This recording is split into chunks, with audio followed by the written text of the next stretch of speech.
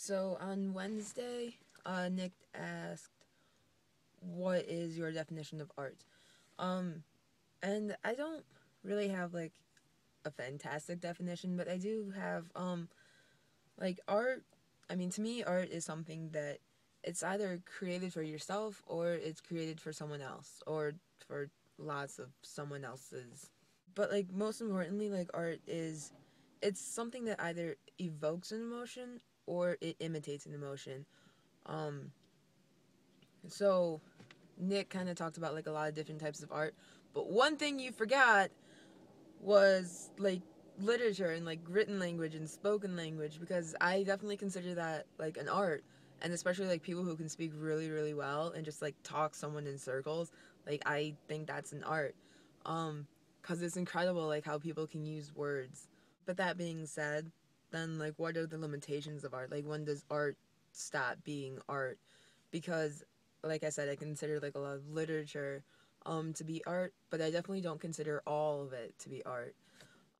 And i definitely believe that there are those limitations um but like other than saying that like it varies depending on like who's looking at the piece of art or like it varies depending on like um what's being created i wouldn't really know like what to say those limitations are now also that being said i don't think that saying like it varies is like a legitimate answer um because like for example like if i were to paint like a nude person and like hang it up in a museum, a lot of people would consider that art. But like would it still be art if it's like in a children's um like library or something where like children can see it? Um like does it stop being art just because like a certain demographic of people can see it?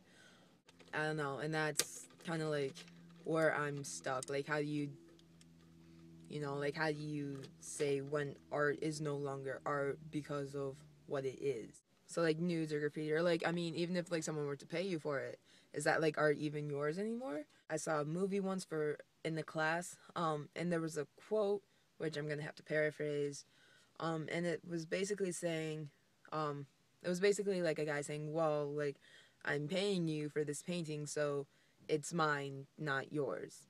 Is there any truth to that? Like if someone pays you to make something, is that is what you're making no longer yours. I kind of think like yeah, there is some truth to that, but also like to what extent?